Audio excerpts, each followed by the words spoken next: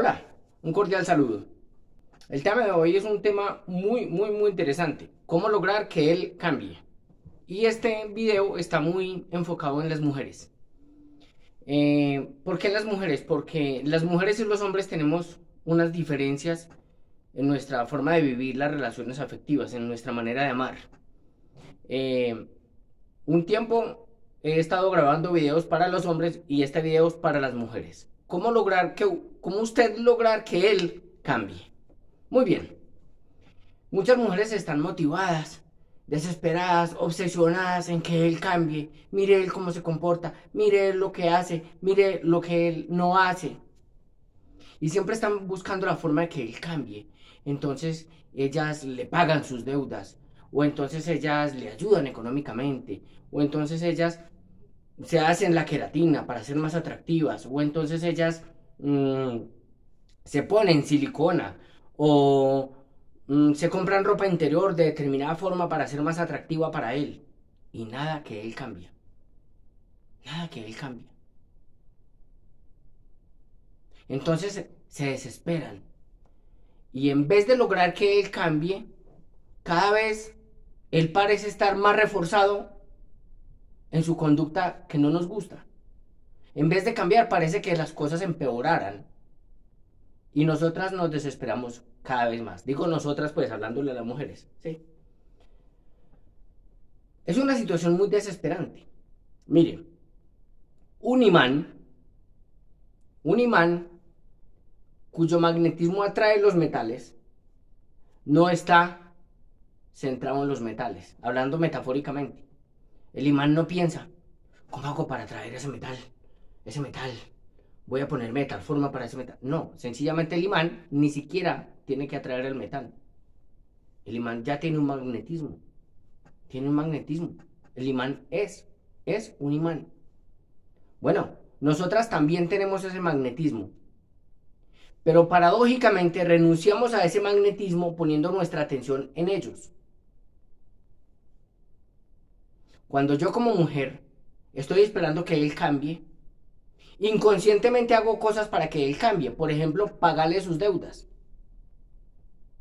Por ejemplo, comprarme ropa interior para verme más bonita. Y aparentemente eso sería un acto con el que él va a cambiar. Pero inconscientemente, lo que estamos diciendo con esos actos, cuando le pagamos la deuda es, yo te hago este favor. Como te hice este favor, entonces ámame. En otras palabras, estamos comprando amor. Le estamos pagando por amor. Y si alguien nos, nos da amor porque le estamos pagando, pues sencillamente no nos está dando amor, nos está respondiendo a un compromiso, entonces está comprometido, está con nosotras porque le toca. Entonces, estar, él se siente obligado a estar con nosotras porque le estamos haciendo un favor. Entonces eso no es genuino.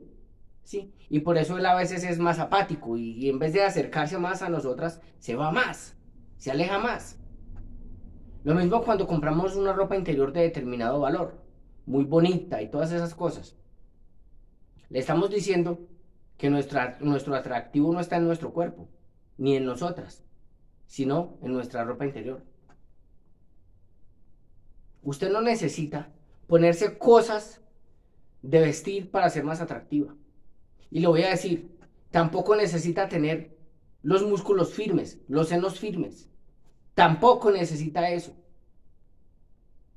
Yo conozco hombres que tienen esposas muy bonitas y van y se acuestan con otras mujeres feas. Tienen esposas con unos cuerpos voluptuosos y muy bonitos y naturales. Y van y se acuestan con mujeres que tienen la carne flácida, que tienen muchas estrías. Y el sexo con esas mujeres con estrías, para ellos es muy excitante también. No por las estrías, ni por la forma, sino porque a lo mejor esas mujeres sí no están interesadas en demostrarle nada a ellos. A lo mejor ellas los ignoran. Entonces aquí no se trata de hacer cosas para que él cambie. Lo primero, si usted quiere que él cambie, lo primero que usted tiene que hacer es dejar de intentar hacerlo cambiar. Eso es lo primero que usted tiene que hacer. Dejar de intentar hacerlo cambiar. y empezar a evaluar las formas en las que usted ha estado tratando de hacer que él cambie. Porque si él no trabaja porque ha sido muy de malas en el trabajo, mentira, lo que pasa es que no le gusta trabajar y ningún trabajo dura. Pero nosotras en nuestro autoengaño decimos, no, qué pesar, es que a él no le duran los trabajos. Y él de repente dice, no, es que me antojé de unos tenis y no he tenido platica. Entonces usted dice, ay, qué pesar. No, vea, yo le colaboro, pues es un acto de amor. Entonces él me va a querer así por eso. él me va a querer porque yo soy muy buena y le compro unos tenis. O le ayudo para el arriendo porque no tiene, tome, tome su platica. Entonces, el mensaje que le está recibiendo es que él no necesita trabajar porque tiene quien lo mantenga. O sea, usted. Y usted se queja de que él lo cambie. Pues, ¿qué va a cambiar si usted le está reforzando la conducta que quiere que él cambie? Cuando una mujer le revisa el celular, está mirándole los ojos a él a toda hora para ver para dónde mira. Y le dice, ¿usted con quién están hablando? Entonces es muy celosa Paradójicamente lo que ella quisiera fuera que él no mirara a ninguna otra mujer. Pero el mensaje que le está recibiendo es, ah, le importo. Tengo su atención. O sea que si yo miro así una mujer cuando pasa, ella se va a poner brava conmigo. O sea, yo soy muy importante para ella. Entonces, alegarle, insultarlo, presionarlo, no es la forma en que él deje de mirar mujeres. De hecho, eso hace que más las mire. La forma es que usted elimine el miedo interior que hace que usted le esté revisando el celular a toda hora. La abuelita decía, pórtate indiferente y serás amada. Y eso tiene mucho de verdad. Pero ojo porque mis videos no, no están promoviendo la manipulación. De ninguna manera yo promuevo la manipulación. El manipulador siempre termina mal. De hecho es todo lo contrario.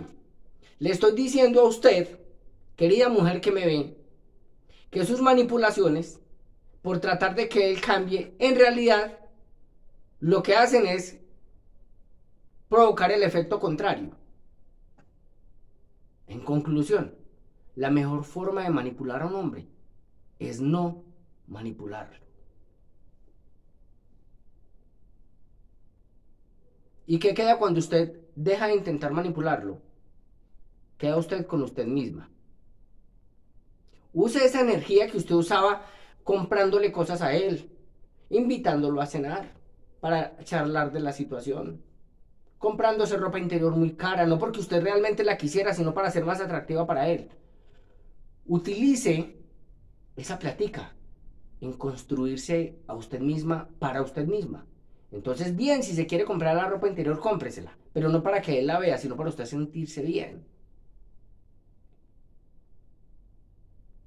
Si usted se va a poner prótesis eh, mamarias o, en los glúteos, si lo quiere hacer, bueno, independiente si está bien o no, eso no es el motivo de este video, pero si lo quiere hacer, hágalo, pero por usted. No para ver si él por fin le va a parar bolas o si los hombres le van a parar bolas. Eso es un mito. Mujeres, les está hablando un hombre. Y yo soy heterosexual, a mí me gustan las mujeres. ¿Sí? A mí me gustan las mujeres. Yo tengo una esposa, se llama Alejandra. ¿Sí? A mí me gustan las mujeres. Les está hablando un hombre. El atractivo sexual no está en unos senos grandes, ni en unos senos chiquitos, ni en un abdomen plano. No. Hay mujeres que aún con estrías, aún con los senos flácidos, son bien atractivas. Porque todo está acá. Entonces deje de tratar de controlar los factores no controlables. Usted está tratando de controlar variables no controlables. Tratando de controlarlo a él. Tratando de controlar su conducta. Haciendo cosas que generan el efecto opuesto. Cuando usted le da regalos, cuando usted lo persigue, lo vigila, está siempre disponible para él, entonces usted le está mandando un mensaje. No valgo nada, estoy regalada, ámame, ¿cuánto necesitas? Te hago este favor, pero ámame. Pero ese mensaje es inconsciente. Entonces el que dice, uy, esta vieja me está comprando, uy, esta vieja me hace estos favores, sí, sí, ay, sí, yo te amo, mi amor, pero en el fondo, uy, que encarte me está comprometiendo. O sea que yo le debo algo a ella, porque como ella es tan buena conmigo, yo, yo tengo que estar con ella, me toca. Entonces se vuelve ya como una especie de prostitución, pero invertida. No estamos pagando por sexo, no, pero estamos comprando amor. Y eso él lo lee inconscientemente. Él inconscientemente se da cuenta de que de que están intentando comprarlo. Y es lo mismo que cuando usted una persona intenta comprarla. Sí. Usted mismo como que de pronto me interesa el dinero. Pero hacerlo por el dinero. O la persona, me hago entender, la que tenga oídos que entienda. Así es que, queridas mujeres, si usted quiere lograr que él cambie, deje de intentar hacerlo cambiar y empiece a cambiar usted.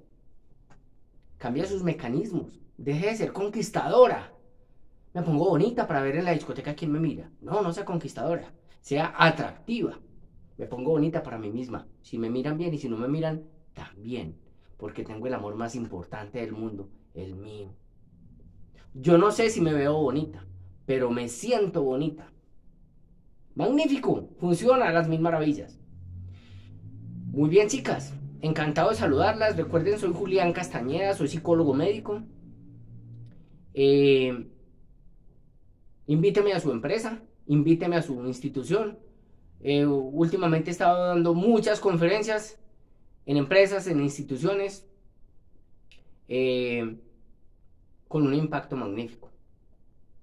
Entonces, me contactan el 310-381-6016 aquí en Colombia. Ese es el número de contacto aquí en Colombia. Consultas también. Y magnífico, encantado de saludarlas. Quedan más cosas por hablar de este tema. Después les comparto otro video profundizando en el tema, pero vale la pena. Ay, eso del amor propio, que no sea una teoría, vívalo y usted se va a dar cuenta de cómo empiezan a ocurrir milagros, cómo empieza a ocurrir todo lo que usted siempre quiso que ocurriera, nunca ocurrió. Solamente que ahora va a ocurrir sin esfuerzo y de manera espontánea. Bien, muchas gracias, suscríbase al canal y la campanita y bueno, todas esas cosas. Que yo no soy muy bueno en la tecnología y no me centro mucho en la tecnología porque soy más del ser, de lo esencial independiente de la tecnología, estas palabras que usted escucha, si las pone en práctica, empieza a generar milagros en su vida. Bueno, niñas, encantado de saludarlas. Espero que estén muy bien. Y un servidor. Listo. Las aprecio demasiado.